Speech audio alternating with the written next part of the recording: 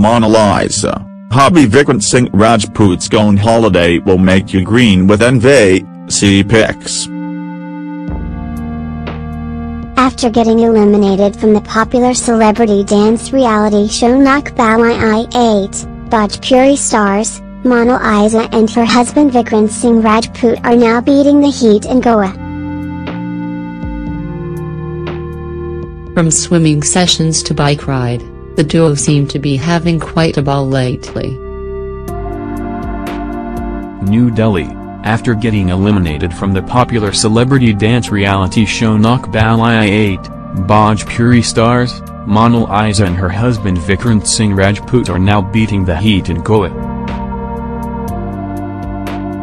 From swimming sessions to bike ride, the duo seem to be having quite a ball lately.